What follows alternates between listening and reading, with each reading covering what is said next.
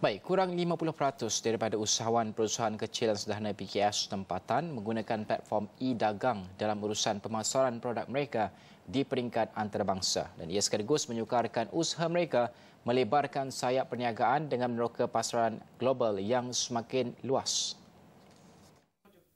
Perkara itu didedahkan Ketua Pegawai Eksekutif Kumpulan Dagang Halal Berhad DHB Muhammad Hazli Muhammad Hussein.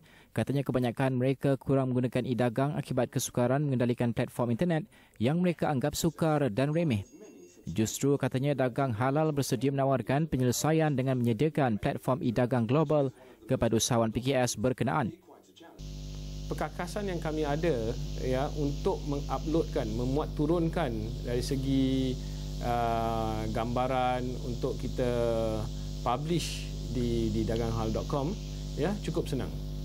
Jadi tak kira umur ya mereka boleh menggunakan kita punya halal trade manager ya kita ada satu tools tu nama dia halal trade manager yang mana cukup senang untuk kita menaikkan uh, gambar-gambar produk-produk yang telah kita ambil.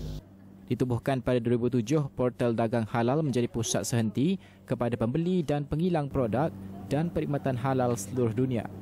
Ia berperanan memberikan hikmat nasihat kepada pengilang dari segi pemasaran dan penyediaan platform perniagaan melalui internet. Tambah Muhammad Hazli, DHB juga menguruskan portal daganghalal.com. Menerusi portal itu, DHB berperanan membantu usahawan PKS yang mempunyai masalah bajet mengiklan produk mereka secara dalam talian. Bukan saja memasar dari segi platform saja ya.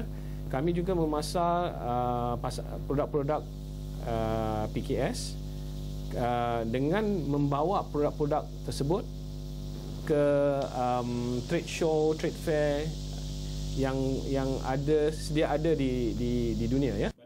Dagang halal pernah mengikuti beberapa pameran produk halal di serata dunia, antaranya China, Jerman, Brunei, Perancis dan Thailand.